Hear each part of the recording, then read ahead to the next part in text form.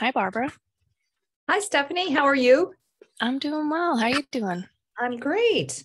Thank you so much for helping us out today. Of course. I'm really excited to be here. Yeah, it's um it's such a great um, skill to have to be able to check out all those mappers. And I think conservation commissions I need a little extra help with that. So we're glad to yeah. have you. I'm excited to go through it all. I'm in a different conference space right now, so I'm just gonna work on like adjusting my yep. situation while we talk. You can check your share screen or whatever you need. Um, I so I'm I'm set up to do almost all of these live. Okay. I have everything situated and, and I know there's some risk involved with that, but mm-hmm. you know. I'm not I don't want to jinx it, but hey, it's worth it, worth a try. It should sure. work. yeah. No, I know. Um, I know exactly what you mean. You, yeah. Um, but yeah, I would go for it. And and if we have to backtrack a lot or, you know. Yeah, I think my slides that I have prepared, I could still, you know, worst case scenario, I'll just work through those. It might be yep. a little more boring than I would want it to be, but yeah, definitely seeing it um, live is very helpful. And I did send um, when I sent the, the reminder to uh, register for this program, I did send a lot of um, different mappers that people could check out before the program. Okay. And uh, some people did, I think not everybody did, but uh, a few, I did get a response that I sent too much information to try okay. to get. So I was like, okay, all right, I'm, I'll cut back on the next one. So um, so that that's what I was thinking too. Um, I have, you know, I have a certain order laid out, and I'm gonna go through them through them all.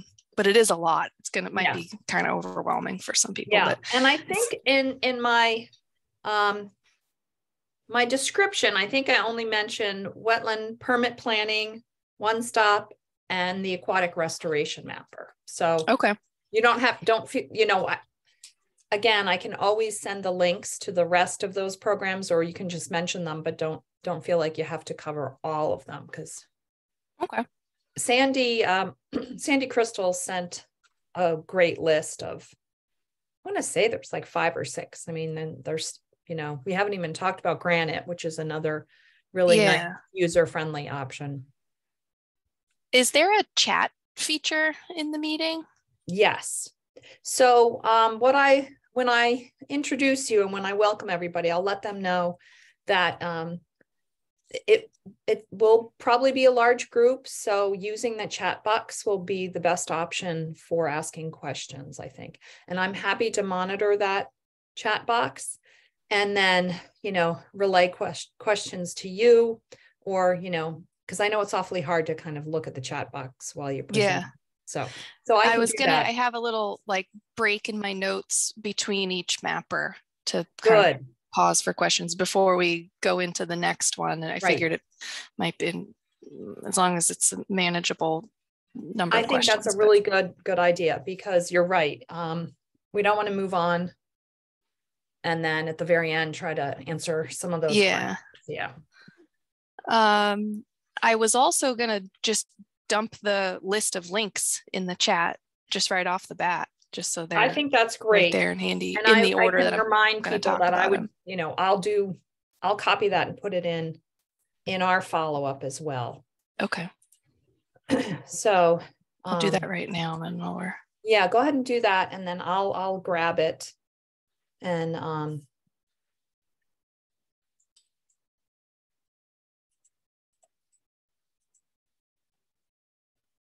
Oh, it's not, um, it's not taking them as a hyperlink. It's just taking the straight text. So I think um, I can work with that. you can also just email it to me if you want. And okay. Um, I'll make sure that everybody gets those. Because I follow up with the um, link anyway. You know, the, the recording link. Yep. So, um, and I usually follow up with the recording link, some resources and additional links, as well as the registration for the next couple programs. Okay. Yeah. Hey, Barbara. Hi, Paul. How are you? Good. Good. Thanks for joining us. Pleasure. We're really moving through these uh, wetland training programs. It's Yeah. I want to see how you're going to organize the field sessions with all these people. I know. Well, the tough thing is, is um, we'll have to limit the in-person to 75 or 80. And so far, we've had about 120, 130 people sign up. But not, I don't know if everybody's going to be able to, you know, take a Friday off because it will be a half day. Yeah, Still 75 or 80 is a lot of people for a field trip. Right.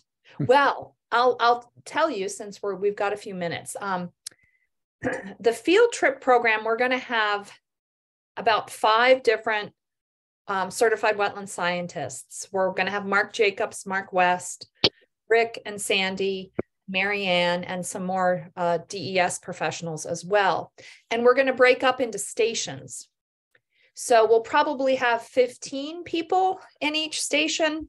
And so they'll go from site to site and we'll look at different functions and values at each site. That's good. That's So that's the plans. So we're not all gonna be, you know, 80 of us crammed around one speaker, because that Yeah. would be hard. Yeah, yeah, right. And uh, yeah, so that's the plan. And we're we're going to the site in April to check it out and see how much distance there is between walking the sites. Hi, Bart. How are you? Good, how are you doing? I'm fine. Thanks. Thanks for joining us. Yeah. Oh, I don't know what they're doing down there, but she went down there, they said they're gonna take her at nine thirty and I just got a text message, message from my wife and they're just taking her into the uh, ER right now, so Oh, I haven't got a clue. it's it's hard to uh figure out um procedures and things. Mm. Um it, it can really take a much longer than anticipated. So so I'm glad you can join us. Maybe that'll be a good Yeah. option just to while you wait. Well, she's a rugged woman, so, Well, I wish you the best with that. yeah, well, she spent a year in Iraq, so. Wow.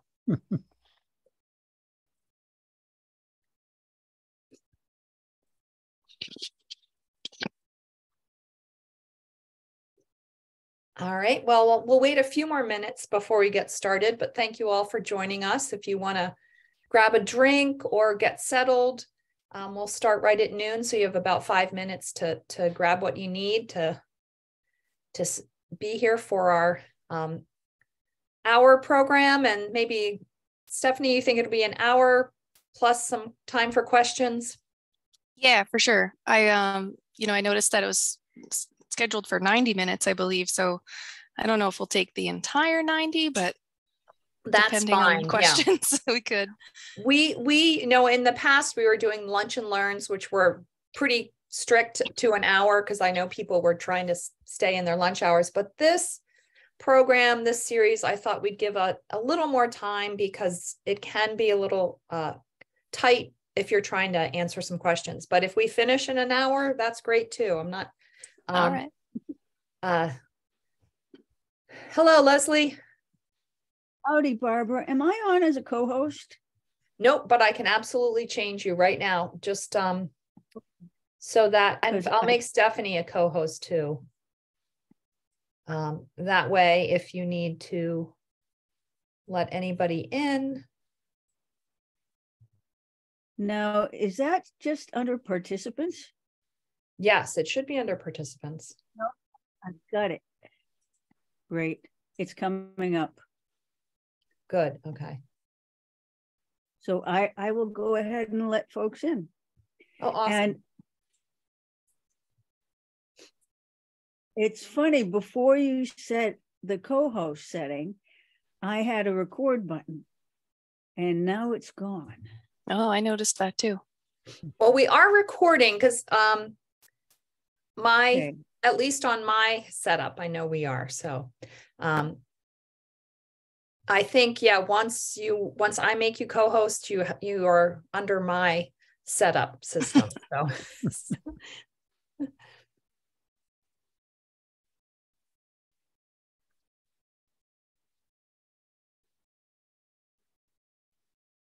and I, um, I, at one point I put the automatic re- record button because that way then we just know we're getting it all and it's, it's easier to do that than forget to record these. So that's the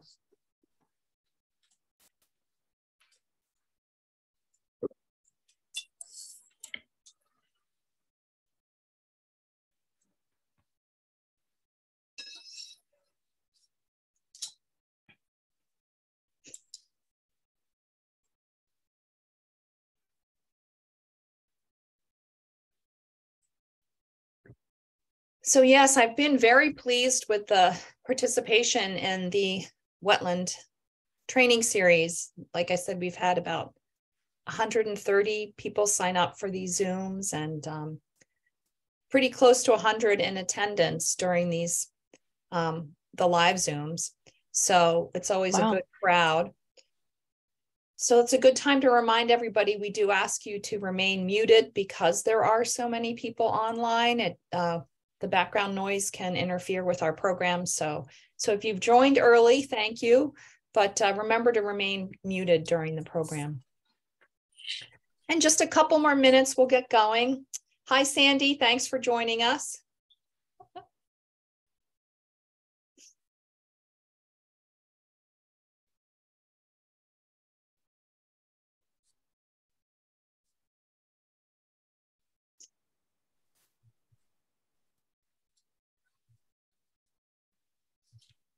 Stephanie, how many years have you been with DES now? Oh, I think I'm going on seven. Really? Okay. Yeah. Nice. Nice. Yeah, I started as an intern. So it's kind of fun to think about as you know this time of year when we do the solicitations for interns. Yeah. I think, yeah. well, these are our future staffers. Right, right. Good for you. That's a, that's lovely. Yeah. Lovely amount of time. Uh, I think I'm going on my seventh year here at NHACC. So. Oh wow. Yeah. I was bummed to miss the annual conference this year. It was a Oh, I know. I felt bad. You you uh, ended up getting sick right right in time for that. Yeah, right? yeah. Yeah. Well, Marianne Tilton covered for you, and she um as she does. yeah, she yes, and she she really uh, did double duty that day. She had two presentations, so um, I'm glad she was able to um, cover this topic because I know, um, yeah, I know it's of interest to a lot of commissions. So it's great yeah. to have, have DES show everybody how to use it and why it's so important to access that information when you're checking out permits. And I think once you get in the hang of it, it's pretty easy to use. I I think so. You know, that's the good news. Yeah, I'm going to touch on that too. Some of the similarities between the various mappers. Yes, right, right.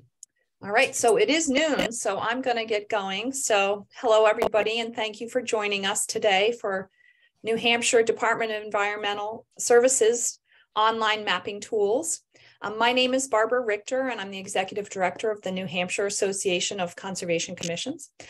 And NHACC is a nonprofit organization working to support local conservation commissions so that they can better protect their natural resources in their communities.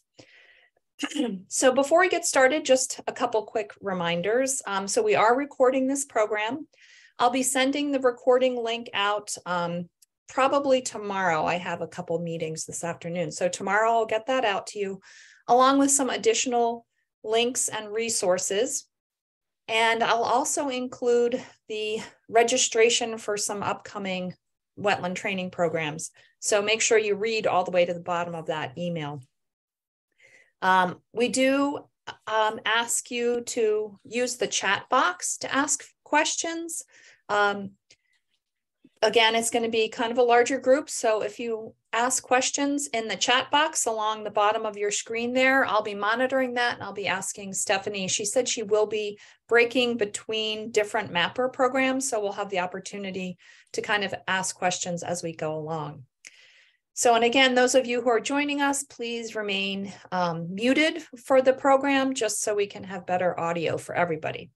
So um, hopefully, I think I see a lot of familiar names and faces. So thank you all for, for joining us. Um, this is session three in our wetland training series.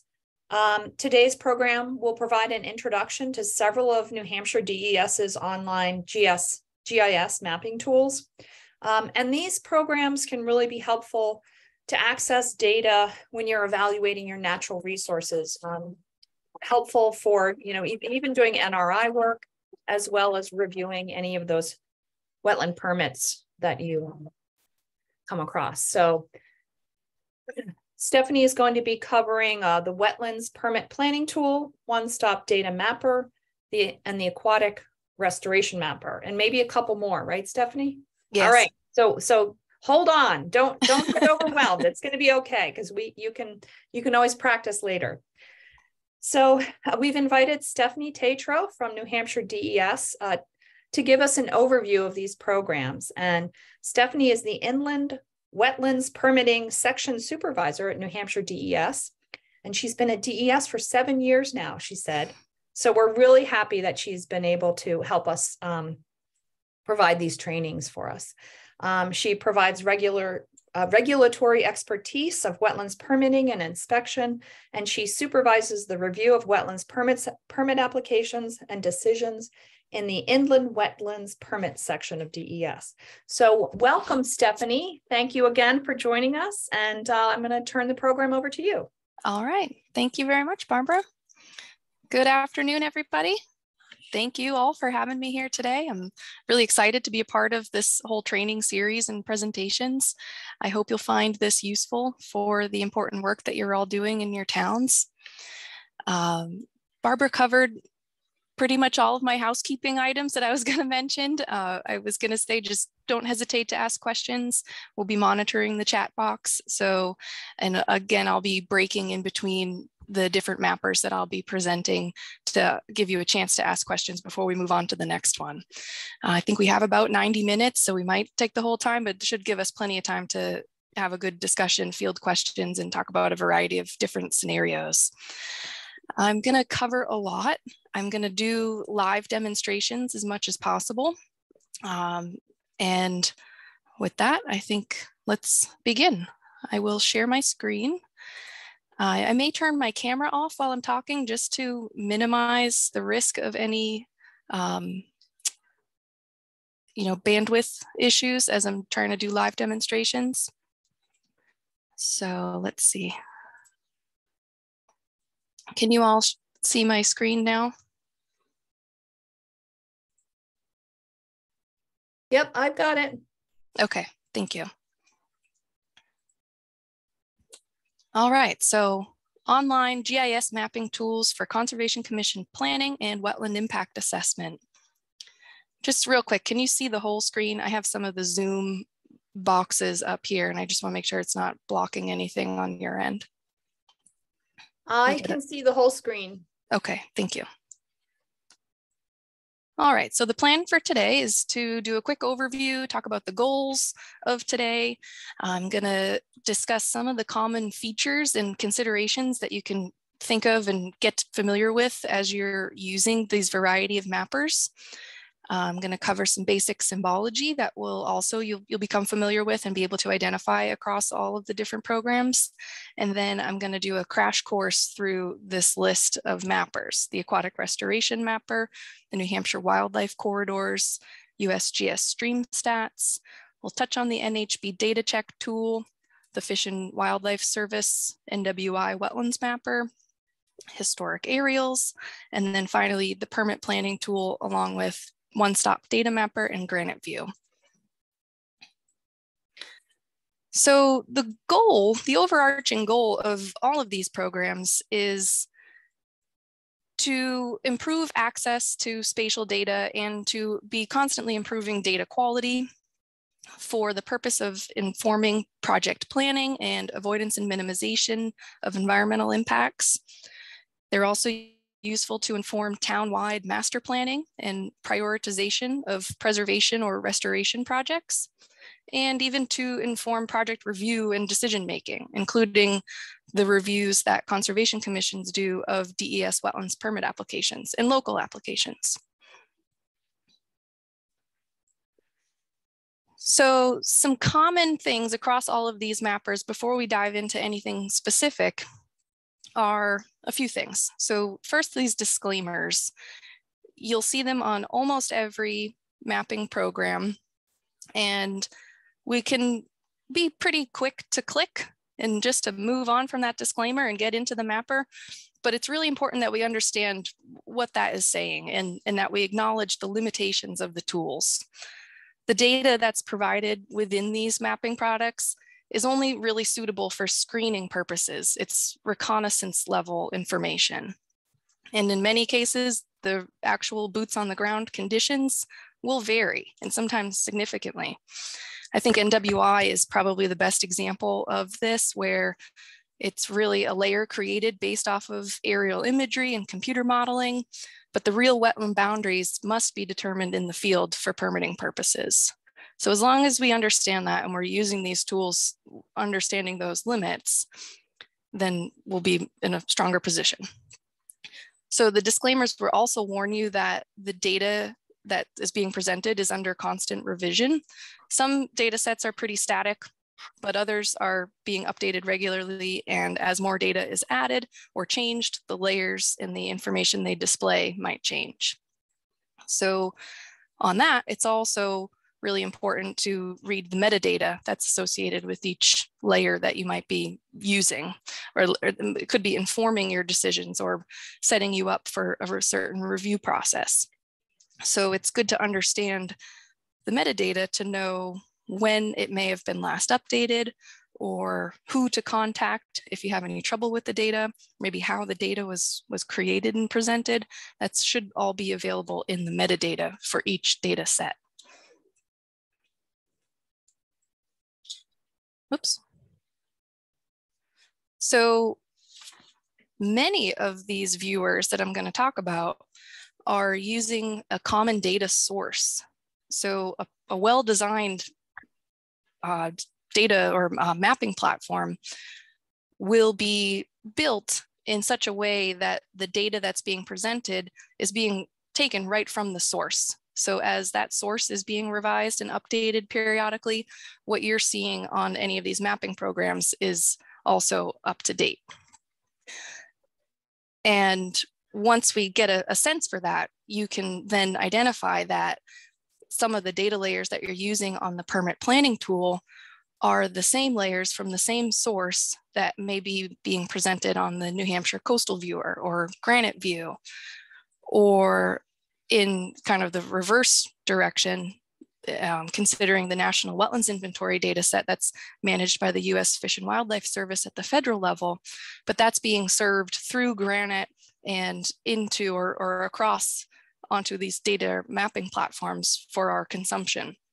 So they all gonna, they're, they may look familiar. And then on the same tone, some of them are built on common software platforms. So they actually really look and feel very similar to each other.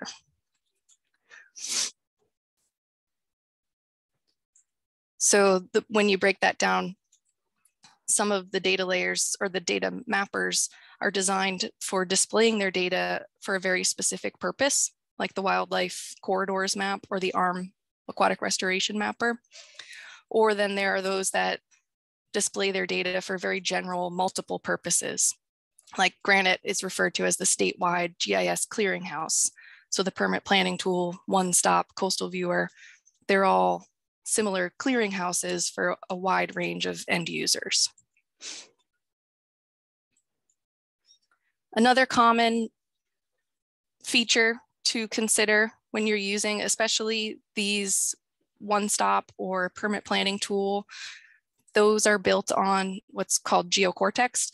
And so one function that that happens here that I think can trip people up pretty commonly is how certain layers are only set to be visible at certain extents. So you have to be zoomed in or out to a certain extent in order for that layer to be visible. And when you're using the layer list, and I'll show you this in a broader uh, screenshot later on, but if you're trying to visualize this wetland types layer and you can't here because it's grayed out and italicized, that's indicating to you that you're not zoomed far in enough. So if you just zoom your map in further, that layer on the layer list should become available for you to click and turn on, and then you'll be able to see it.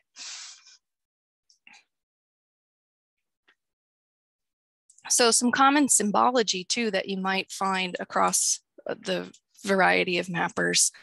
And they're not actually always identified as I have them here with titles above each one. You might just see these icons. So this like stack of pancakes, that's indicating that if you click that, that icon, you're gonna reveal the list of available data layers.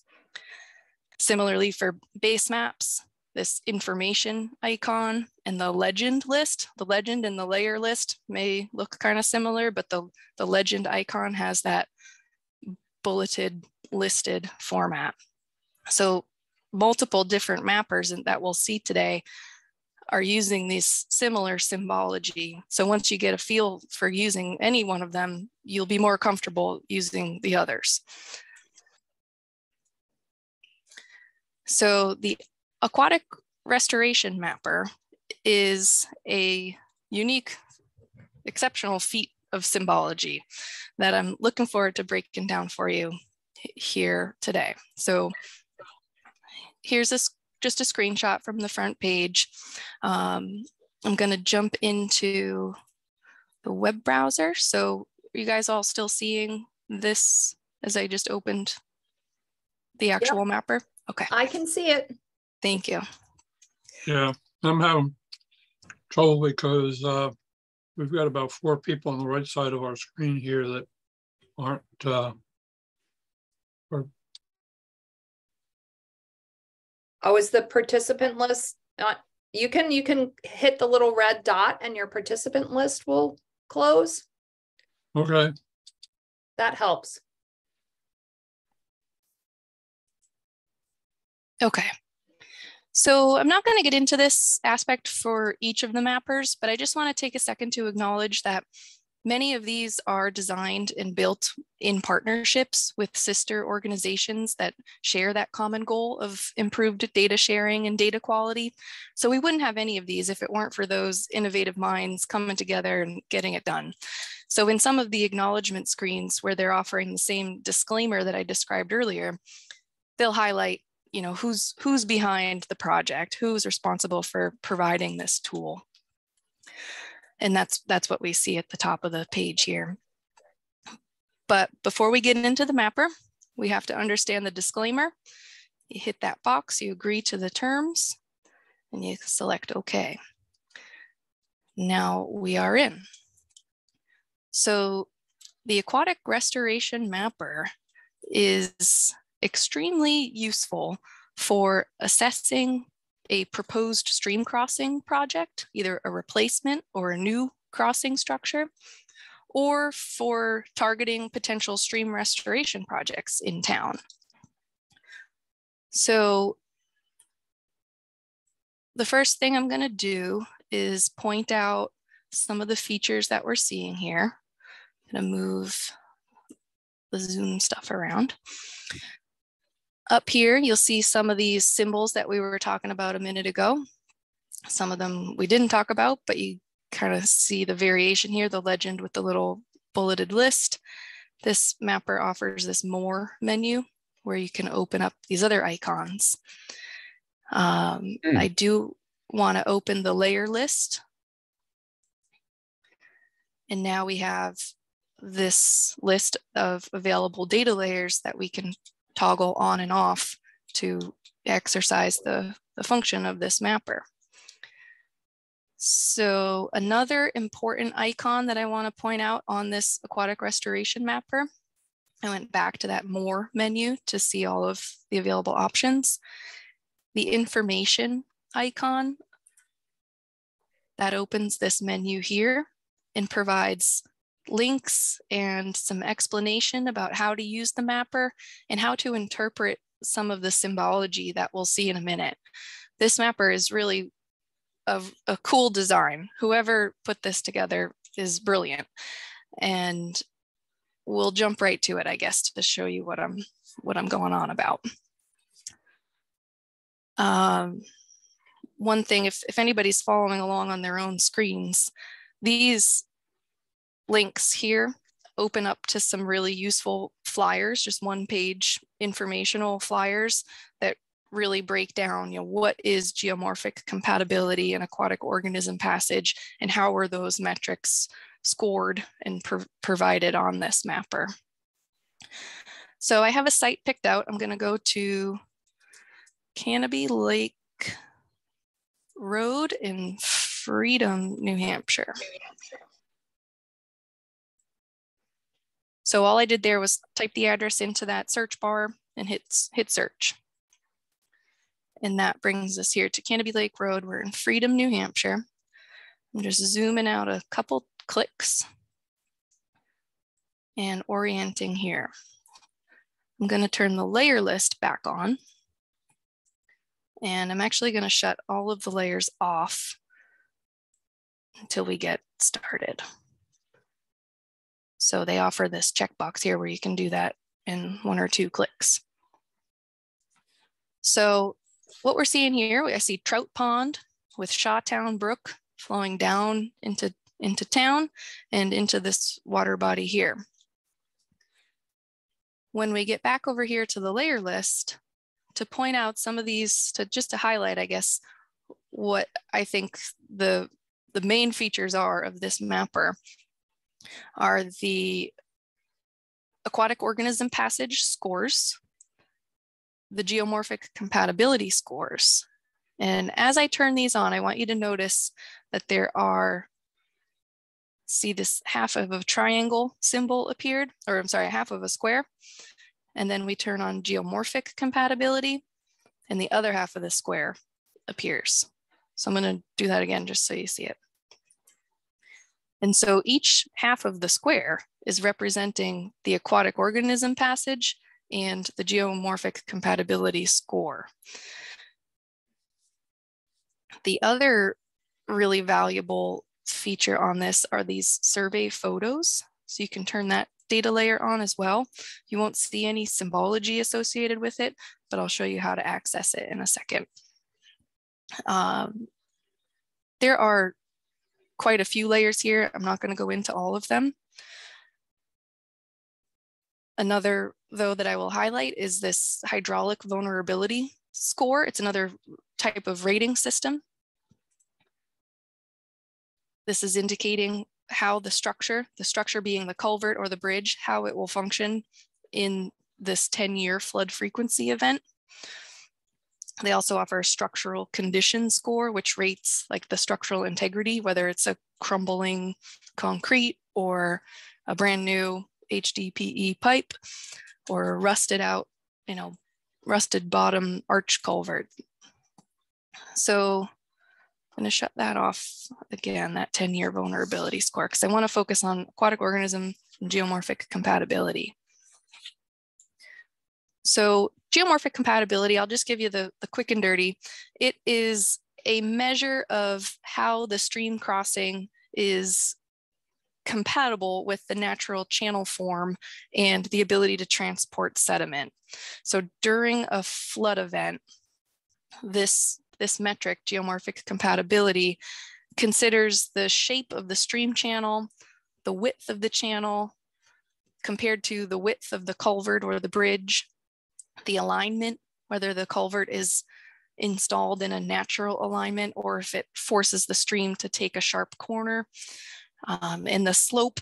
So all of those physical dimensions of a stream channel and how does the culvert or the bridge fit into that?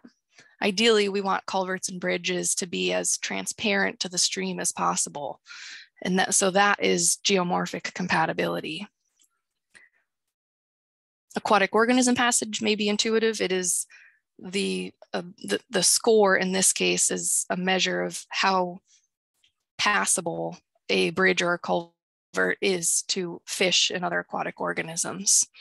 So you can imagine on Trout Pond, this stream leading down from Trout Pond, you'd think wild brook trout or eastern brook trout at least would be a, an important species to target for aquatic organism passage.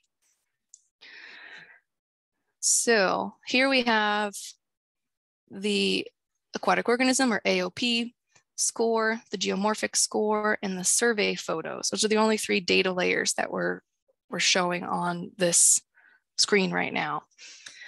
I'm going to click on one of these icons, one of these locations. And the reason you might do this as a commission member is if you're reviewing a proposed project for jurisdictional impacts related to a, a project uh, on one of these crossings, or if you're trying to kind of look around town and see where these hot spots could be for prioritizing a restoration project. So here I, I can tell, you know, if, if this is something's going on at this culvert that's really indicating that aquatic organisms cannot pass, you might put a little flag there for yourself to say, hey, what, what's going on there? And can we maybe pull together a grant or a project to restore aquatic organism passage at that culvert? So I'm going to click on that square and I get this pop-up window. Uh, I want to point out that it says one of two here. And this is kind of a, a common format that you'll see on other mappers too. If you clicked on, on a point on a different mapper, you may see this similar thing. Or you may not see what you think you wanted to see. But if you notice here, this is one of two, you have to toggle over to two of two. So I'll go back real quick. This is one of two. And this is showing the stream crossing survey data. So this is a, a whole list, and I'm not going to go through it all, but you can get the idea. There's a lot of data here that was collected by the DES field staff who went out in the field and assessed each one of these culverts all across the state. They collect all this data, it gets quality controlled before it gets put up onto this mapper for the public, and then you can, you can access it. It gives you the date of when the survey was conducted, um, one parameter I do want to point out is the, the stream dimensions. There are some down here that talk about the bank full width.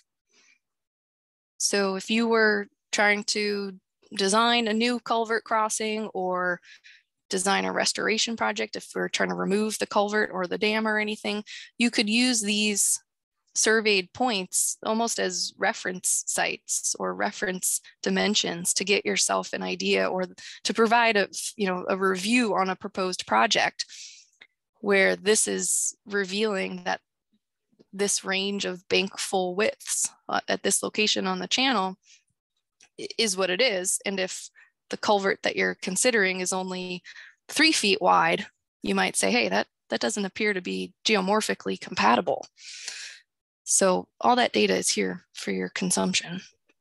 The other fantastic thing about this mapper is that for each of these surveyed points, I'm going to toggle over to two of two. There are photos. There are a series of usually about at least 10 photos for each culvert. So I'll click on one just for demonstration and you get this nice big clear photo of what the structure was on that date of the survey.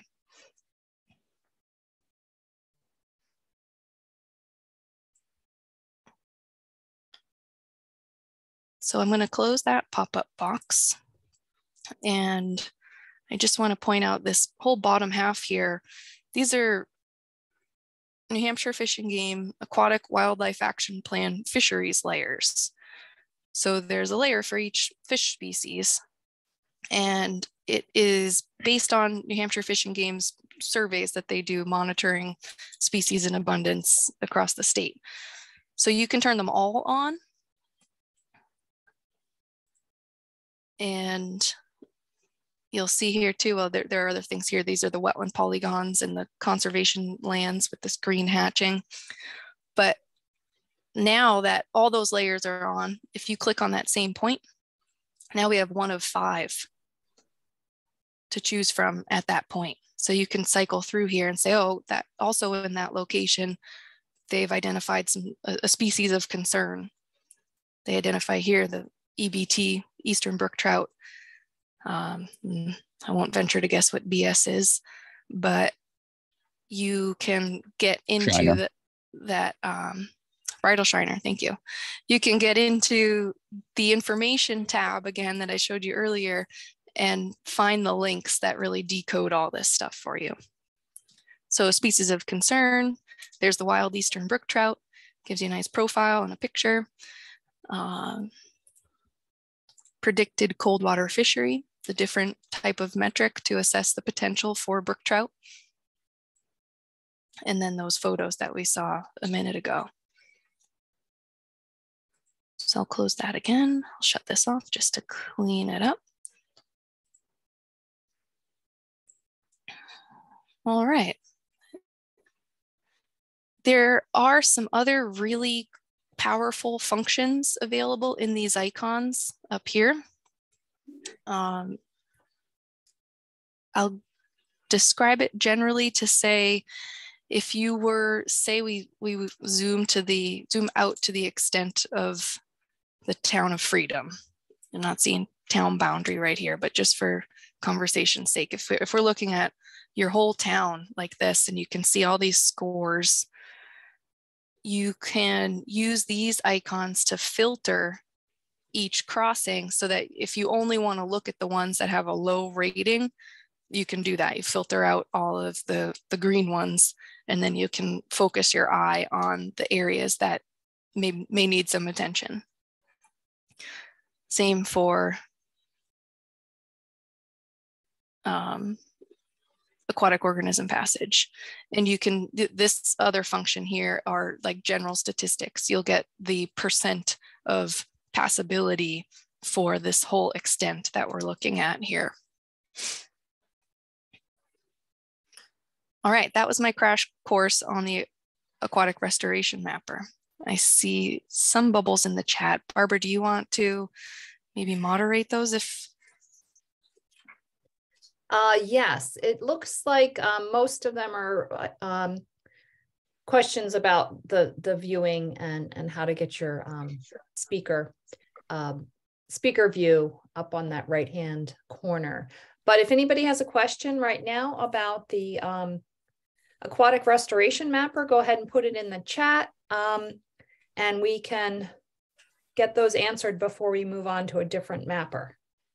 Does anybody have any questions about those um, really cool features that uh, the um, those squares provide? The green ones are again the ones that are provide um, passage, aquatic passage, and don't necessarily need to be replaced.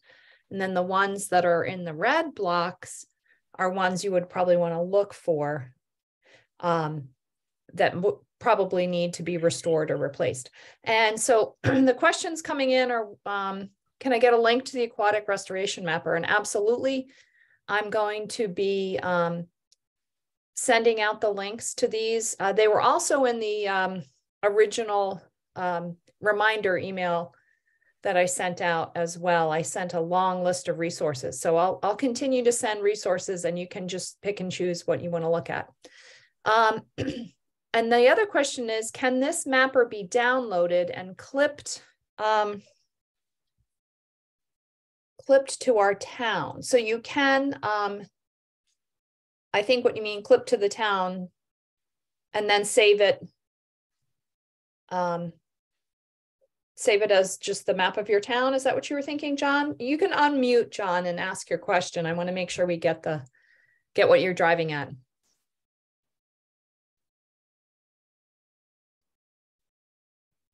Had to find the unmute button. Oh, okay. um, yes, uh, I, I use a couple of GIS um, editors, and so I can do the clipping. I just want to know if the full data set is available to be downloaded so that I could do the clip.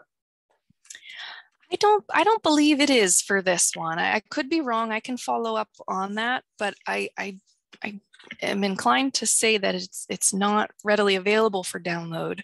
If it is, you may find it on the the GRANIT Clearinghouse website. Uh, but it, I just know that it's it's very dynamic. They're constantly, you know, mm. doing these surveys in the field, right. doing the quality control, and I, am inclined to think that it's it's not there for download. Okay, I understand uh, that if there's rapid data updating, Uh, I, I can use it to present, well, uh, to do planning for our town culverts and such. Um, I, I just, I just figured it would be Yeah. way, way less data uh, on my system, but that's okay. Thank you. I was gonna just look here to see if there's a way to even download this information, but it doesn't seem like it. Yeah. Okay. And Sandy mentioned that the data can be downloaded in Excel. Um, Okay. the other question we have are where are the legends for each of the layers? Sure.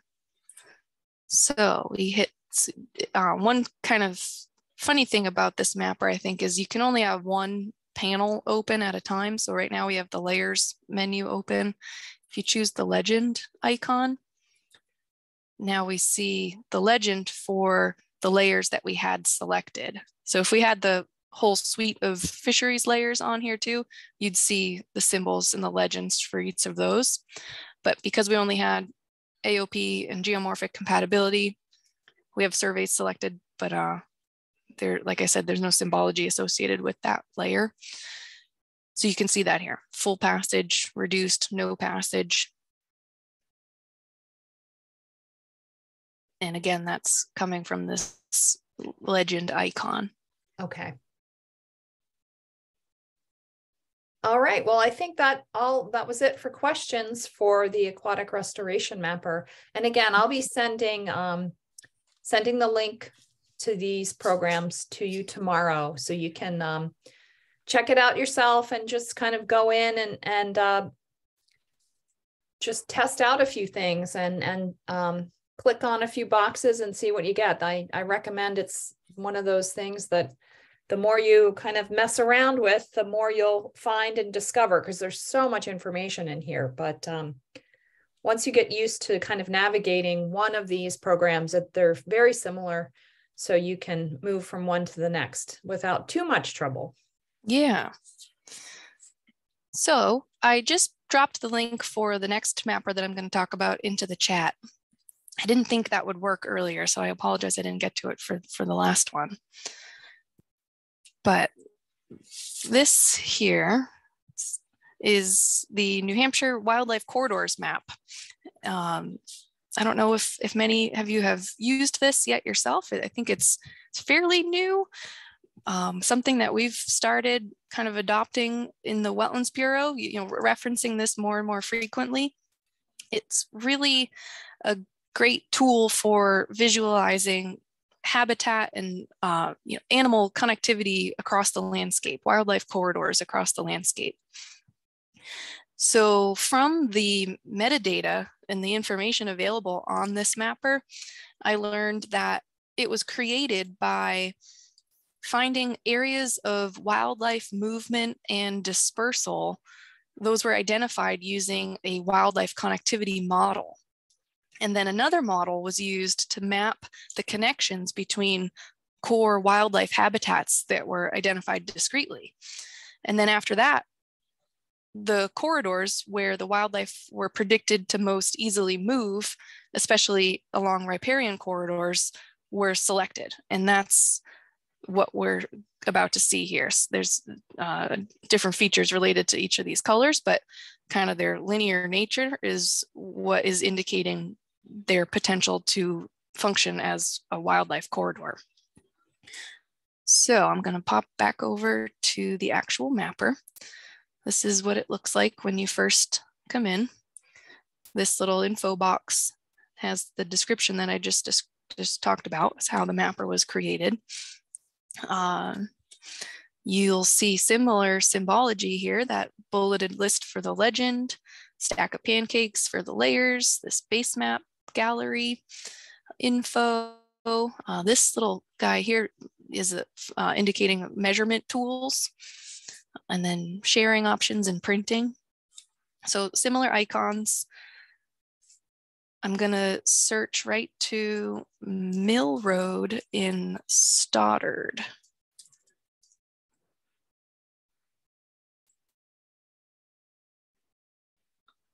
So here we are. I'll come back out a couple ticks. I'm going to open this layer list. And so this is an example that I was mentioning earlier. It looks like everything is inaccessible.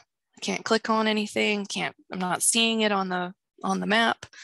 So I know that that's indicating to me that I'm not zoomed in or out to the right extent. And, you know, it's, it's natural to think, you know, if we're assessing wildlife corridors, that's really like a landscape parameter. So these layers are only visible when you're zoomed out to a landscape level. I'm going to turn layers off for starters just to get the introduction in. But you can see in this area, I did, I searched for Mill Road just to get us in this general vicinity. This is Highland Lake coming down from the north, Island Pond. You see Fisher Brook here, this other brook, um, and Dead Brook. There's a confluence here of several riparian corridors and water bodies. So you can imagine also that there, you know, with Mill Village, there's probably some residential development pressure here. And by using this mapper, I think you, you could take it as a tool to identify these priority areas that could be preserved and protected for the purpose of maintaining that habitat connectivity across the landscape. So over here in the layer list, um, again, there's some overlap. We see this stream crossings aquatic organism passage score. That's from the mapper that we were just looking at. Same with the photos. We have uh, conservation and public lands. That is relevant to this wildlife corridors discussion. Um, these lakes and ponds and rivers and streams, these are all on the back end, they're derived from the NWI US Fish and Wildlife Service data set. I'm not going to turn those on right now because we can more or less see the water features that we would be talking about. Uh, this one though, the prioritized habitat blocks, potential wildlife corridors, and secondary corridors. So I did a little research to find out that the potential wildlife corridors layer are the top scoring linkages for all focal species combined. So these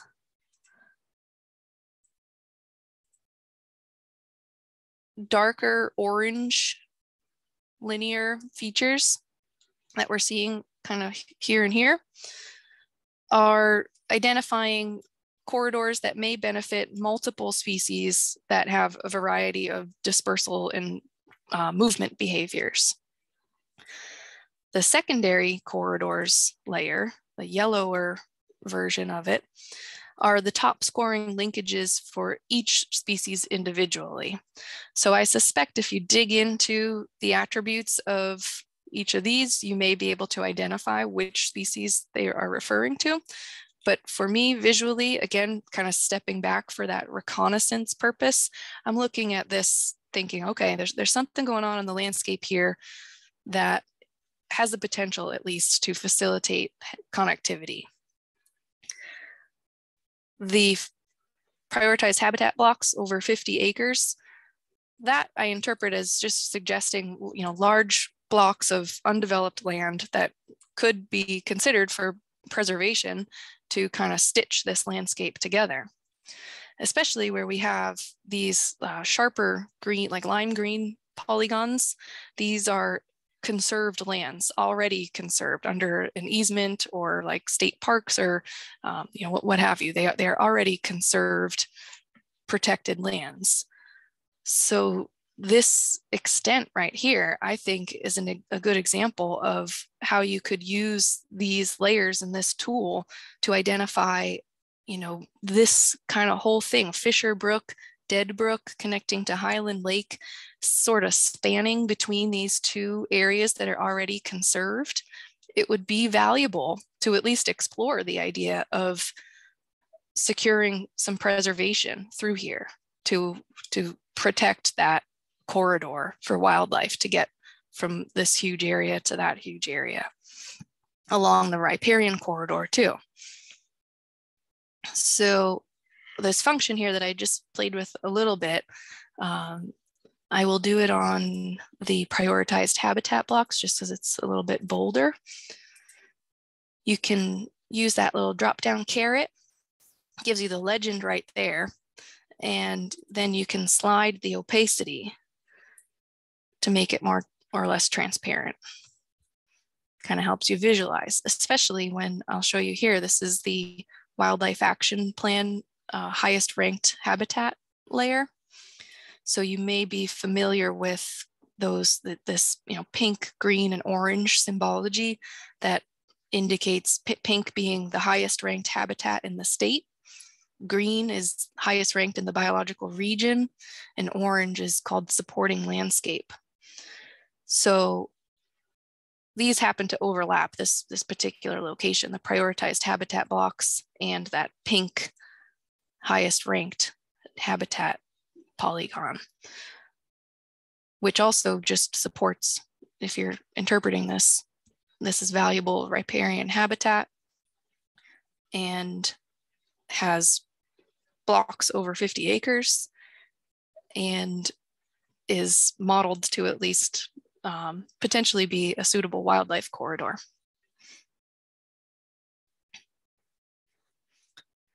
So this, you know, is obviously a very specific use. There are other layers on here that we just briefly touched on, but you could use this to maybe identify other um, rivers and streams that could be flowing through and may not show up as clearly as those did on the base map. Are there any questions about this?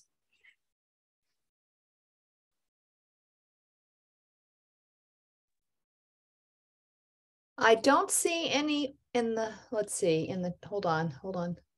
Um, nope, I don't see any in the chat box right now, but if anybody has more questions about um, the corridors map, um, again, there's a lot of information um, in this this mapper. So it's pretty cool to check out. I also really do like the way that you can find um, the same, you know, the same um, data in in a lot of these maps that you'll find the highest ranked habitat, the Wildlife Action Plan highest ranked habitat in in many of these mappers. So you can kind of compare um, the data from one mapper to the next.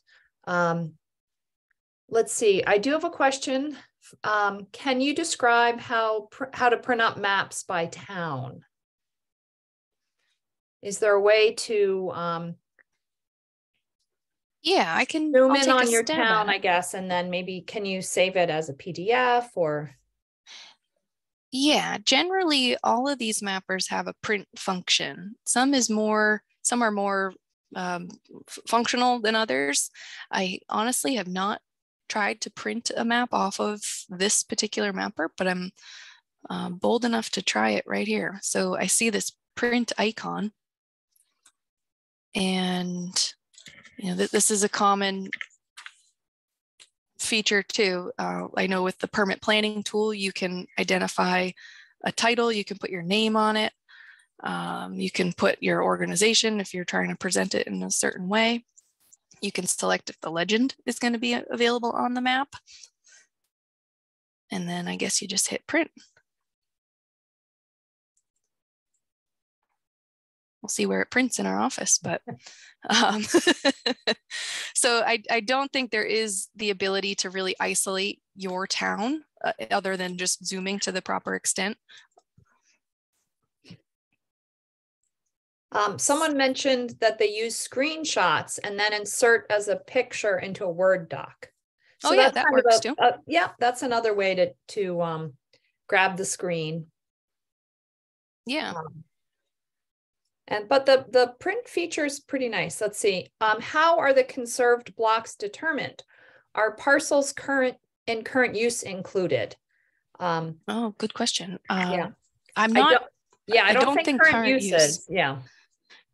Yeah, I don't think current uses either. Um, and I know that these blocks, so this this lime green features that we're seeing here, are coming straight from New Hampshire GRANIT.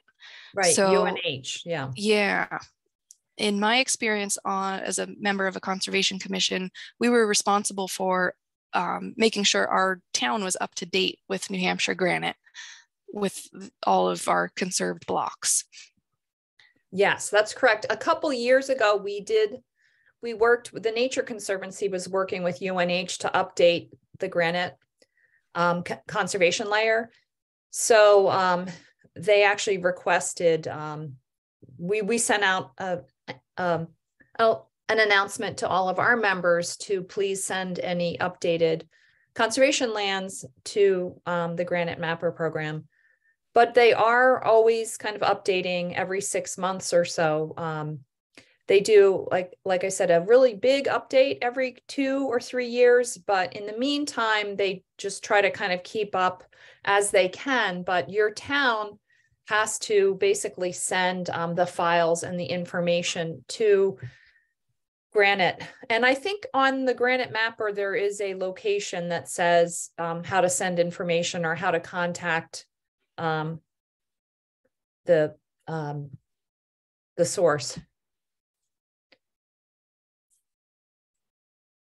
And another comment was that current use parcels are not permanently conserved um, and town owned property doesn't necessarily isn't necessarily permanently preserved either. So the green that you see on those maps um, would be permanently preserved um, conservation lands with either um, ownership by a conservation organization or um, ownership through a town that may have a uh, conservation easement on it. So there's there's kind of a, a um, more defined um, permanent conservation um, for those green blocks that are used in in most of these mapper programs. Mm-hmm. Okay, shall we? All right, I think that's it for questions on that one. All right. Next, I am planning to talk about the USGS StreamStats mapper. So StreamStats is pretty different from the others that we just looked at or that we're going to look at in a few more minutes. It is much more technical than the other mappers, which renders it somewhat less user friendly, but it is packed with a ton of information about the hydraulic conditions of a defined watershed area. So I did drop the link to this in the chat if anybody does wish to follow along. When you first open it up, this is what it looks like. You get the whole United States. And similar to other mappers, uh, they have a search uh, function here to search for a location. You'll notice too that these this one doesn't have exactly the same symbology that we were talking about, the, the layer list and the legend icons. Um, but you can kind of glean you can usually navigate they're they're usually at least that user friendly to navigate through the layers or the available base maps. So for this demonstration i found four mile spur in colebrook new hampshire. So i typed that in here. Streamstats always kind of provides these options based on what you type into the search box. And I have found that it's useful to click on this option rather than just like hitting enter on your keyboard. Go with what they give you here you know as long as it matches obviously but if there's some slight formatting differences in the way you type you might not find what you're looking for. So here we go. I think i clicked that too funny Oh, and we're not working. Hold on.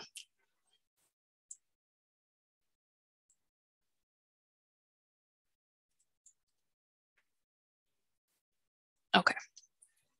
So you get to your location. I'm just going to close this. It gives you the identifying the lat and long here, but uh, visually can't see. And I was thinking in this spot, I just zoomed out a couple ticks, but you can see Four Mile Spur Road. This is Four Mile Brook or Four Mile River kind of flowing down the valley. And I thought, well, what if we were entertaining a proposed development up here? So whoever it is is going to have to come off of Four Mile Spur and cross Four Mile Brook to get up here. And part of at least DES's technical review would be to assess the, the hydraulic conditions of the stream that they're proposing to cross. And if you're familiar with our stream crossing rules, streams are categorized as a tier one, two, three, or four, primarily based on watershed size. So stream stats is a pretty solid way of determining the watershed drainage area size. And then that dictates the design criteria and permitting process that would be that a project would be subject to. So you find your location and what we're seeing here, this, this brook is really just a part of the base map. That's not real data there for us to click on.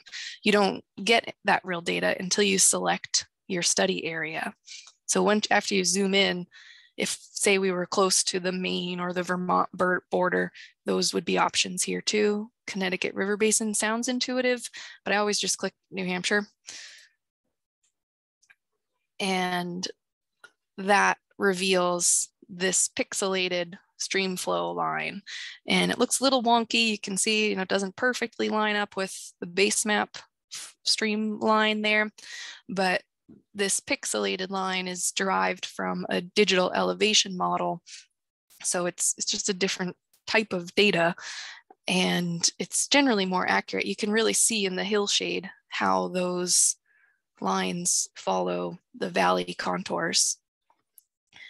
So we're still just kind of looking at our spot here. We know this person's going to try and cross Four Mile Brook right there. And we want to know about the drainage area that contributes to that point on the stream. So in order to get that, you have to select this button here, delineate. And when you do, see we have the finger icon or, uh, or cursor icon as a little finger. And if you hit delineate, it turns into a crosshairs. So you use your crosshairs to select one of these pixels in the location of the proposed crossing. And it tells you your point is valid. If you clicked like over here somewhere, it would not be a valid point. And it goes ahead and starts delineating your basin. So it can take like a couple seconds, depending on your, your speed that you're working with.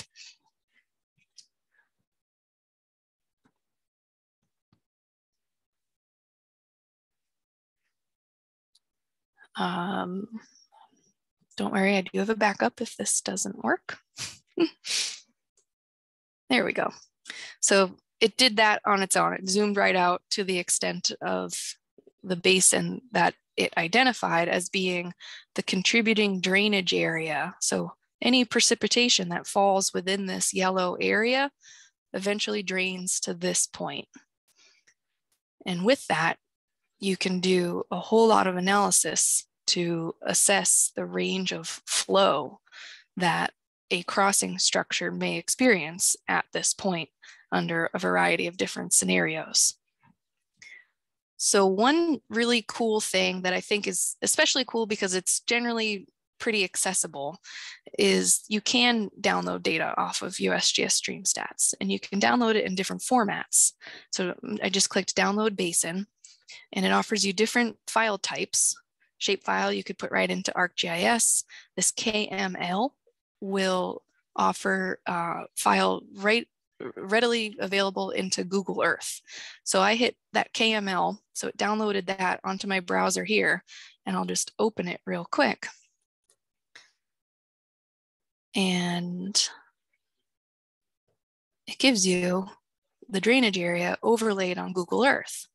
And pretty, with a, a couple more clicks, I'm gonna right click on this white polygon. You go to properties. You can change the color of that polygon. So I'll do it yellow just because it's consistent with the stream stats symbols. And you can change the transparency again.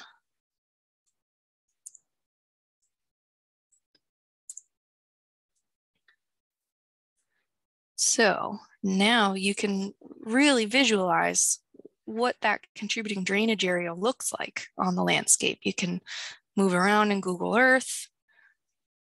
You can get an idea of how steep, how developed it is. Obviously, this is a relatively undeveloped area, um, but you can imagine maybe a flashy mountain stream.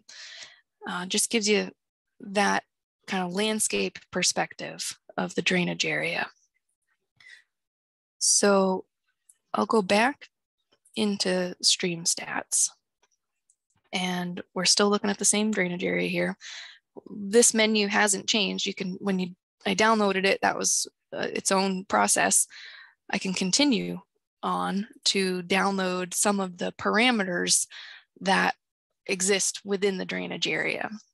So what I mean by that are the peak flow statistics. There are a variety of flow scenarios available here that you can you can download. Characteristics of the drainage area, like the percent of it that may be wetlands, the percent of it that may be impervious, gives you an, another indicator of how flashy the stream might be. Um, it gives you some precipitation options to choose from. And ultimately, you can download a, a PDF that gives you all that information uh, kind of packed up into a little report. So it's offering these peak flow, low flow, a variety of flow scenarios, and then the basin characteristics, which you have to drop down further. And some are automatically selected for you. Um, I guess sometimes they're not, but drainage area is one that is, you know, particularly informative. So I'll just select that one for now because I don't want to overwhelm the system. You can see the precipitation parameters, percentage of wetlands.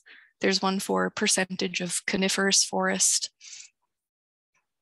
So all, all characteristics that may indicate how that stream is going to behave and, and inform how you should design your crossing to accommodate its behavior.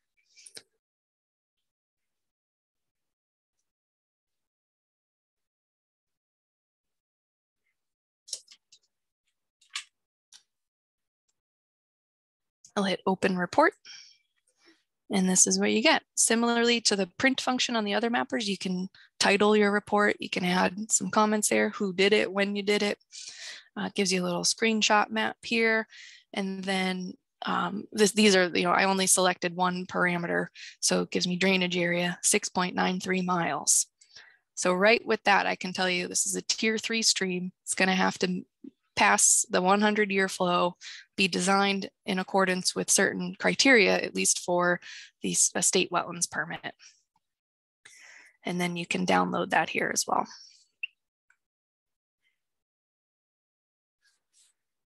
So that, that stream stats. And I'm, I'm really just giving you this high level crash course. I really strongly encourage you all to get in there, select all of those parameters and, and see what happens, you know, or see, you know, what you can learn about your own drainage areas or on any of the mappers. I'm, I'm not as familiar with stream stats, so that's very interesting to see all of that information you can gather and then download as a report. I think that's pretty cool. Yeah.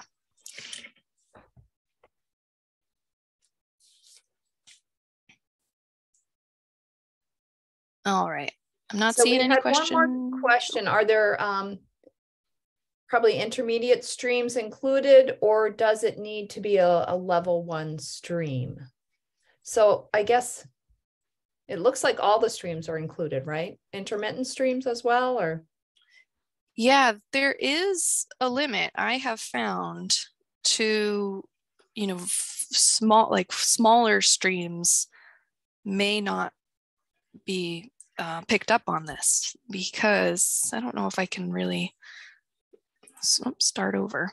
Um, when you get into the higher parts of a watershed and your streams are, are so much smaller, they may not be picked up by those the digital elevation model. And so that, that is important. It doesn't mean you don't have a stream there. You know, we we encounter that pretty frequently in the Wetlands Bureau. Is you know this the if someone was, say, there was a driveway crossing right here to get back here, you know, you can kind of see the hillshade there. Maybe there's still a defined scoured channel, but it's not enough for this program to have identified it. So when it, it, there's not a cutoff for stream order or a particular, um, you know, size drainage area, it's uh, I, I don't I couldn't tell you exactly how that gets cut off at this point as we see it here, but um, I can tell you if if you think there's a stream here and it's not showing up on stream stats, that's probably a good idea to go out in the field and inspect it. Yeah. Is there a mapper that would give you a good indication of stream order? Um, Or yeah. So there there is a subset of the New Hampshire hydrography data set that identifies the Strahler stream order. Okay. And you may be familiar with, with that as it pertains to the Shoreland Protection Act. Okay. Fourth order streams and greater are subject to the Shoreland Protection Act. And so we have a, a set of those displayed on the permit planning tool. And if uh, I'll make a note to show you that when we get to that one in a few minutes. Okay, great.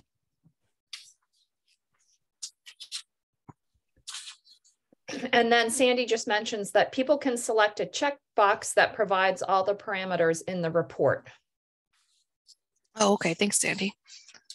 That must be one of the options when you're building the report over here. Yep, really great information. All right, then let's see. Um, these were my screenshots I had prepared in case that didn't work live, but I just think that is cool. Just it's just interesting to look at. You get a very qualitative impression, but all right, the next one I was going to talk about is the NHB data check tool.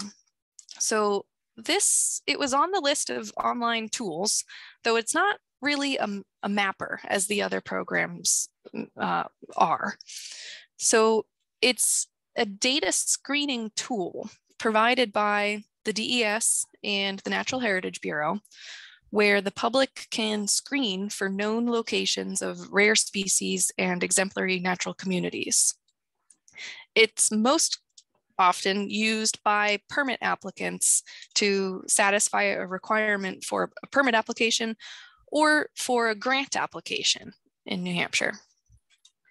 So when you get into the tool, you do have to register to obtain login credentials, which in my experience, they're very quick about. You just register, give your information, and they'll return you with a, a registration. You, you can then access the tool. In order to run the tool though, you must have landowner permission. So you really can't be running this tool for anybody's property without their permission.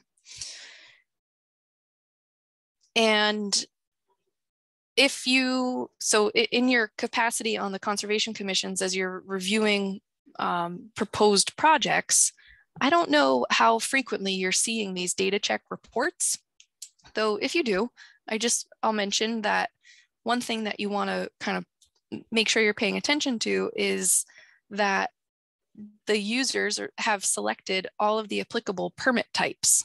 So if you're reviewing a project that you know is going to require an alteration of terrain permit and a major impact wetlands permit, then you want to see both of those permit types listed because the permit type that's selected triggers a certain scope of review by the Natural Heritage Bureau. So that can affect their review. And you want to make sure that their, the project is filing a single data check for the entirety of their project. And when they do that, you get this data check report back to you. You either get it right away and it says there are no known records. That means there are no documented occurrences of rare species in the project area or exemplary natural communities, or you get a potential impacts letter. And if that's the case, then the NHB and New Hampshire Fish and Game staff perform a desktop analysis of the proposed project area and they determine if the rare species or exemplary natural communities are likely to be present and if they may be impacted by the project. So that then feeds into the regulatory process, maybe informs some design revisions, year restrictions, certain types of best management practices that can result in having less or no impact on threatened or endangered species. So because you have to have the, the login credentials and the landowner permission, I'm not going to give you a full demo of that tool. I have the web page open right here just so you can kind of see at least that. You would launch the data check tool. That's where it prompts you to log in and you can kind of go, go from there. I'll drop this in the chat real quick. Are there any questions about the data check tool? Uh, the, the one question we did have um, was, um, how do you get permission from the landowner? And I know that certain um, permits, when they're signed, um, that provides um, or gives permission for the for access to the property. But but I does that include the um, data check tool as well? That's kind of a legal question, but I would err on the side of no. I think you okay. would need their express permission to to run that report. So you'd have to contact them and ask them is that yeah, your recommendation? That, yeah. that would be my recommendation. And, and I would, you know, couch that with, you know, I would also recommend you contact the Natural Heritage Bureau to, to get that uh, a solid answer. Gotcha. Um, okay. But to be careful, I would say you should have their express permission. I have heard uh, recently, Marianne was telling me how some towns have, may have done kind of like a, a master planning effort and done a data check report on the entire town. I haven't seen that myself, but I thought it was an interesting idea.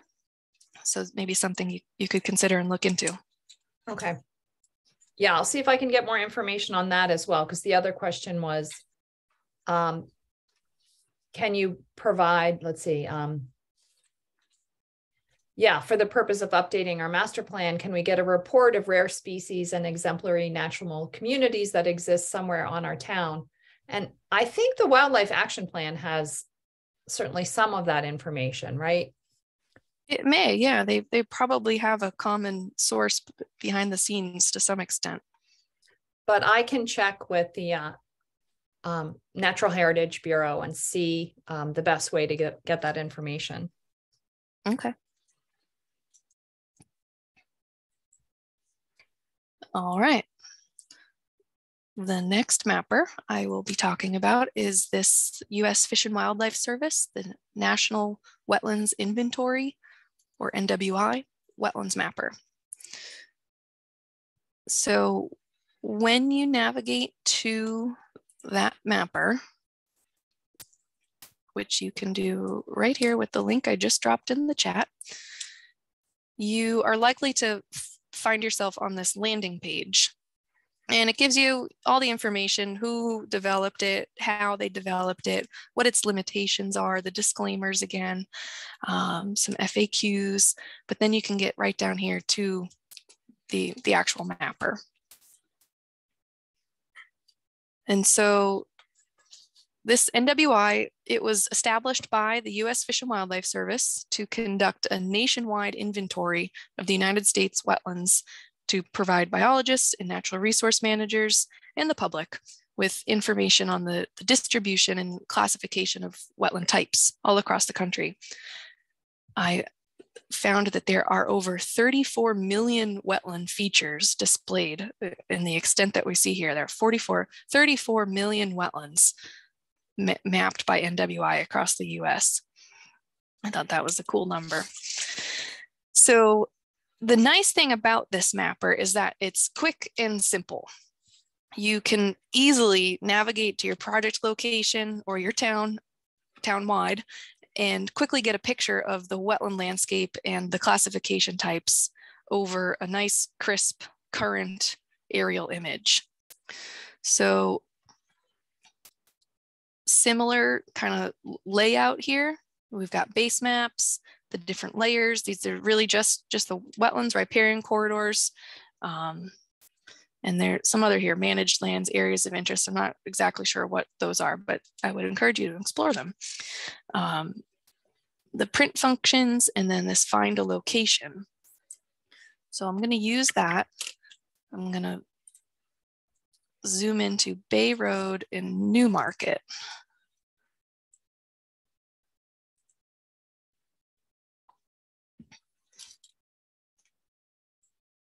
So how, how quick was that? How easy did I make that look?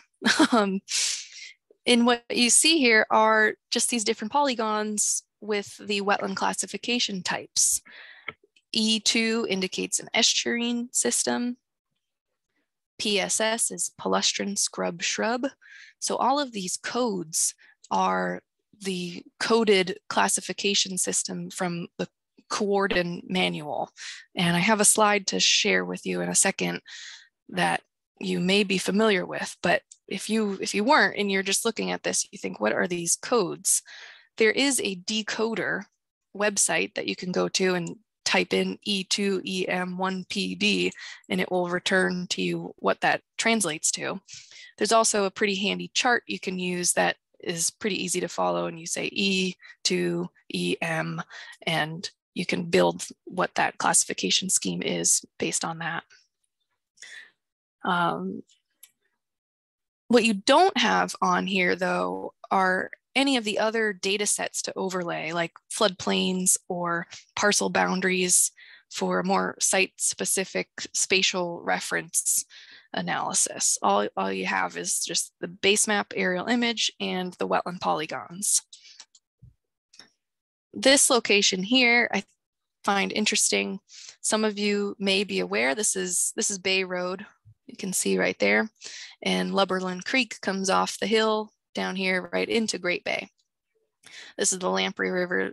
The Squamscott is nearby as well. Um, not too long ago, a couple years ago, a restoration project was undertaken right here at this crossing over Lubberland Creek. The culvert, the existing culvert had a horrible history of flooding. It was a, a maintenance nightmare for the town and a safety concern. Um, so through a restoration, it was replaced and the design, the culvert that it was replaced with was designed to accommodate not just the modeled flows of yesteryear, but for the projected sea level rise estimates and future flood events.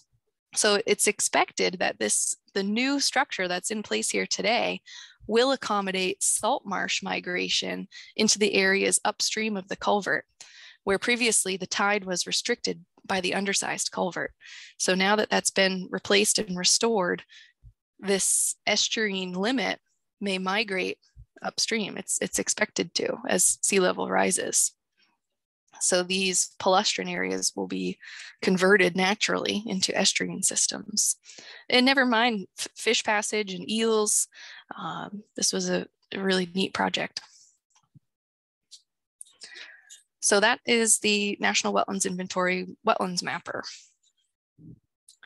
Let me jump back to my slides as I promised. Would, could you, you um, give us an example of how you might use this if you were reviewing a permit? I'm I can, yes. So uh, quite honestly, how I would use this data is on the permit planning tool where we have the same NWI data set provided through New Hampshire GRANIT. And I, I would see the same, same polygons on the permit planning tool. So this is a discrete mapper that's provided by Fish and Wildlife Service only for displaying this specific purpose of, of wetlands. If I was reviewing a permit application, I would be looking at those other features that that aren't available here, like the parcel boundaries or floodplains or peatlands, uh, that type of thing. So I, I, will I will show you that when we get to the permit planning tool. Okay, great. Um, but eh, does this also work if you um, want to focus in on ponds or lakes instead of just street addresses? Um, it, it may. I'm not sure. We could try. Let's see you know that that can be tricky sometimes because the names are not always um, you know, as widely known. Right. But you know, that worked here. I just did Canobie Lake. So probably on the larger water bodies. Okay, great. So yeah, I think if you want to show us the um, mapper. um, yeah. Um, awesome. Okay. How are we doing on time? We got about 15 minutes. Yep. Okay. So this real quick is just the the decoder that I mentioned. So for an E2 system, we would see E for estuarine, 2 for intertidal, and so on. You can use these charts to decipher those codes. So I was gonna, I'll, I'll- I'll skip through this real quick, but just to point out, it, it does exist. It's uh, this historic aerials mapper and it is another discrete viewer. So its only purpose is to provide layers of historic aerial images, but they date back to the 50s, plus or minus. Um, this mapper was really designed for real estate purposes, but you can imagine from a review standpoint, it's pretty relevant and can be really useful for reviewing properties or features to determine whether they have grandfathered structures or if they were legally constructed prior to permit jurisdiction. So if we see something in a wetland that was put there before 1969, then that gives us a, an image here, some documentation to support that, it, that it's an existing legal structure. Um, also, some of the older black and white photos can be used to identify wetland signatures on the landscape. So just another use for a historic aerial image. Uh, that that I did provide Barbara with a link to that one too, so I'm sure you'll all get it. Um, all right, so finally, I'll jump into the permit planning tool. Um, I have presented on the permit planning tool a couple times to to a similar audience. So I was gonna just focus on some of the recent updates that we've done to the tool, and I'll definitely open it up and kind of show you some of the functionality. But I wasn't going to dive into a you know detailed description of each layer or anything. So the permit planning tool is the first one that I'll mention today that is built within this um, GeoCortex platform. And that doesn't probably mean much to you. It, doesn't really need to, other than the fact that to know that GRANITView, One Stop Data Mapper, Coastal Viewer, are they're all built with this same program, GeoCortex. So they have a very similar look and feel and, and similar functionality.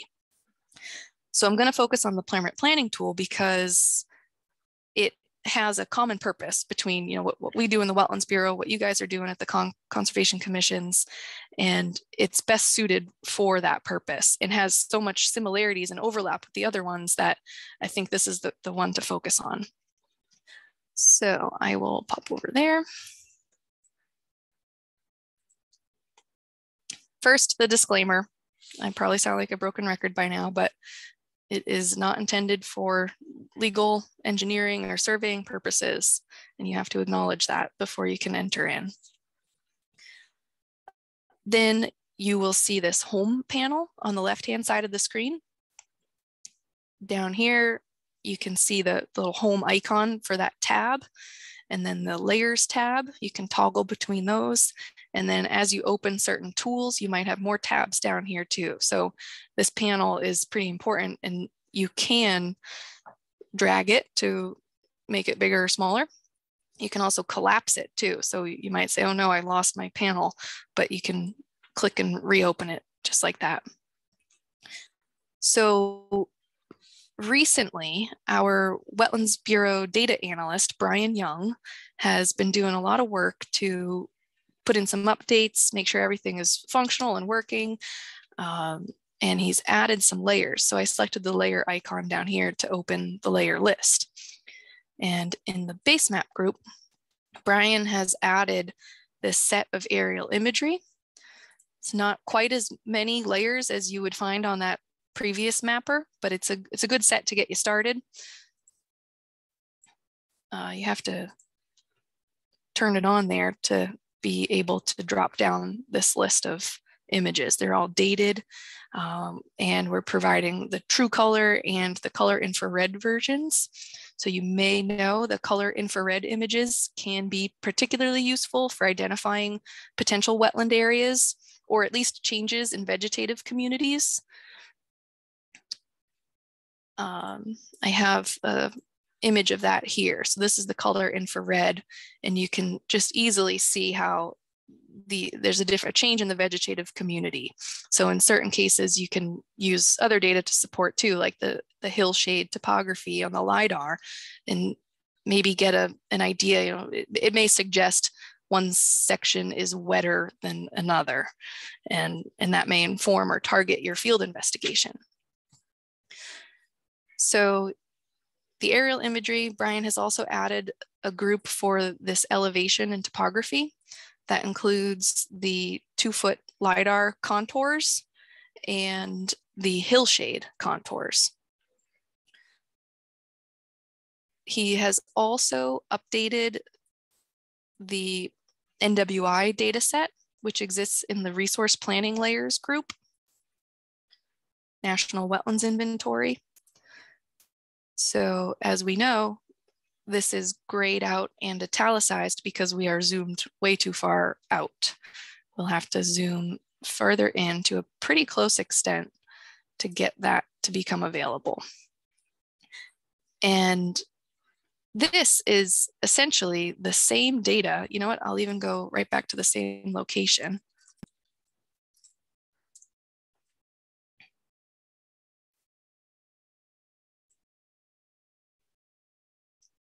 And you can see, you know, I guess they are different colors. However, it is the same extent of estuarine wetland polygons here that we're seeing. This is that Lubberland Creek project across Bay Road. So this is really how I use the NWI data set is through the permit planning tool where I can hone right in on say this parcel and get a better idea you know, of the extent of the wetland relative to the parcel boundaries. And then I can use the layer list to overlay other data to inform my technical review. If I shut this NWI layer off, you can see these other features underneath there, and I'll point those out as they are priority resource areas. And you may be familiar with the wetlands rules, which elevate a project's classification and sometimes require mitigation or additional materials to be provided with their application if they are within a priority resource area. So I'm still within this resource planning layers group. And just to point out also that Brian has added the wildlife action plan layers here, which include the prioritized habitat blocks and the some of the corridors data that we were looking at earlier. He has also updated all of the metadata for each layer that we have on here. We have a link to the available metadata. I know that just got messy on the screen, but I just want to point out these arrows next to the layer. You can click on that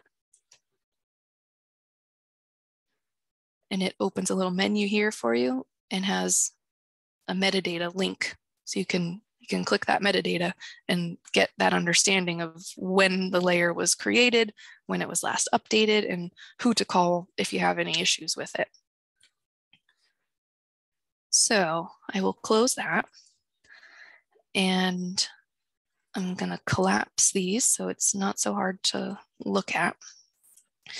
And what I wanted to do too with the permit planning tool, rather than, like I said, going layer by layer, is highlight one of the tools that I think is is pretty functional when we're we're talking about wetlands permits at least. So you click on this tools icon, it unfolds your toolbox. And these are all available for you to kind of manipulate the map. You can identify features, measure distances, print maps. This is where we were talking about earlier. You can title the map, you can include the legend, and it publishes a nice formatted map for you of the extent that you're looking at. But I want to show you the query tool. So I'm going to open that. it opens over here in the same panel with, with the other information. And I want to query the layer that is the wetlands and shorelands permits. So right here, NHDES wetlands or shoreland permit. These are all the layers in this list that are on the layer list that you could turn on and display. But I'm just going to select this one, wetlands and shorelands permits. And the permit I had selected, so you, you have to know the permit number. This wouldn't be for like a pre-application review. It has to have a DES file number. I'm going to type in 2014 dash 02425. And you, I hit enter, so it executed the query. And these were the results of the query. So I'm just going to select one there. And I'm going to shut that off because I messed it up there. So by querying for that permit number, it took me straight to this point and you can hardly see, see these red dots. That's what's underneath this little pin. And that's indicating that this wetlands permit 2014, 24, 25 was located right here. And you can click on that, opens this pop-up window, which you can also click here for a link to the one-stop search which gives you a description of the, the application or the, the permit file with the file number, some dates, the status, the application status, permit approved. If it was still under technical review, it, that's what it would say, under technical review. And that, you know, may be interesting to you. If you're driving across town and you see this construction going on, you say, hey, do, do they have a wetlands permit?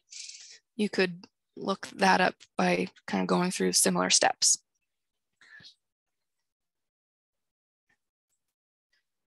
So I also in this location wanted to point out some of the PRAs and I'm getting really close on time. Um, but in this layer group, I'll collapse resource planning. So we're only looking at priority resource areas. This is providing those areas that would elevate a project review at at the state level at least. So we're looking at floodplain wetlands adjacent to a tier three stream. And we also see some peatlands over here. And real quick, the peatlands layer that we're displaying is a clip or a, a, carve out of the wildlife action plan's habitat types.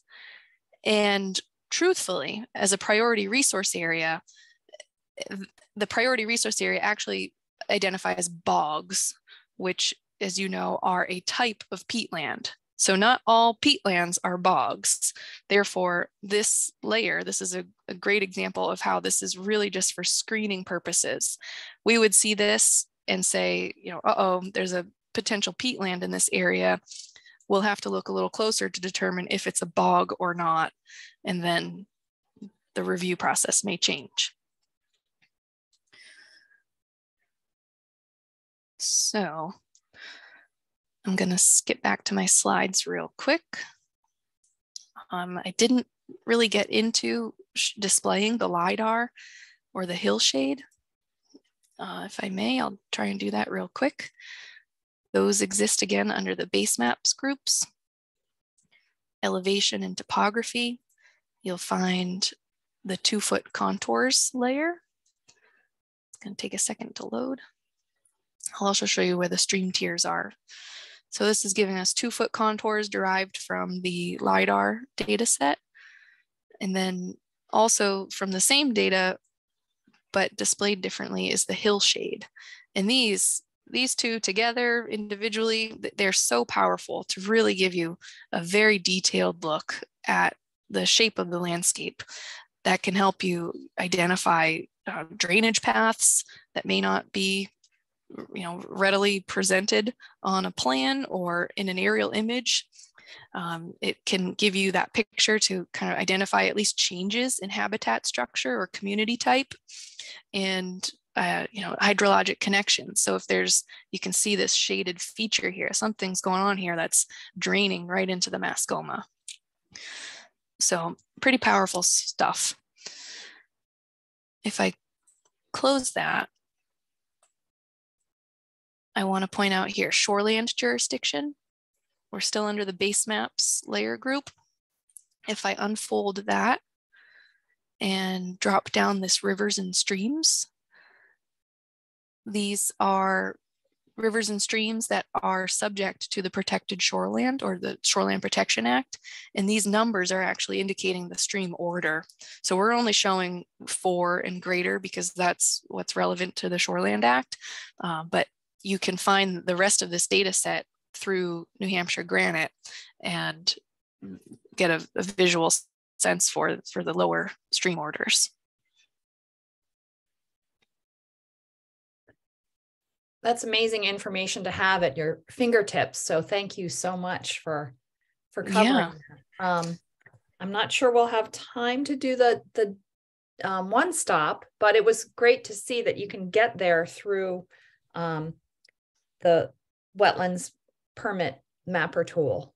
Yeah, and you guys will have these slides. I wasn't even going to do a full demonstration of one stop because it's so similar. The format, the layer list, there are some layers on one stop that are secured layers that we can't display publicly, but you can um, request at least uh, authorized credentials to, to access those.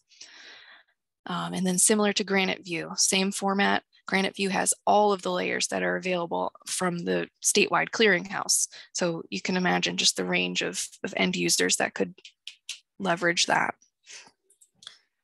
Um, and I provided this link too. I think it'll get to you through Barbara, but on our DES homepage, you can use this resource center if you go there. And then here, data and mapping, that takes you to our DES page that has links to almost all of the viewers that I showed today, plus several others. So I would encourage you to go there and explore that also. Yep.